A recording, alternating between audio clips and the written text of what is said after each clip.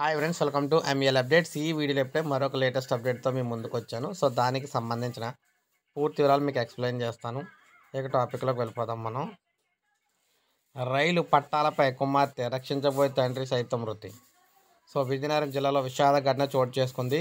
మతి స్థిమితం లేని కుమార్తె పట్టాల వెంట పరిగెడుతుంటే రైలు రాకను గమనించి ఆమెను రక్షించబోయిన తండ్రి కూడా ప్రాణాలు కోల్పోయాడు.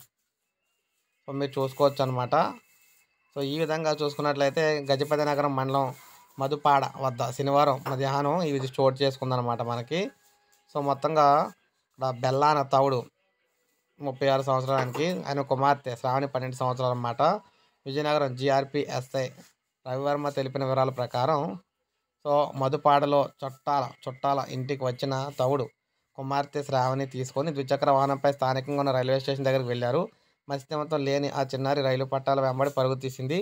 రైలు రాకను గమనించిన తండ్రి ఆమెను రక్షించడానికి వెళ్ళగా విజయనగరం నుంచి బొబ్బిలి వైపు వెళ్తున్న రైలు ఢీకొని ఇద్దరు అక్కడికక్కడే చనిపోయారన్నమాట. మృతుడు భార్య భారతి ఇచ్చిన ఫిర్యాదు మేరకు కేసు నమోదు చేసి పోలీసులు అయితే దర్యాప్తు చేస్తున్నారు.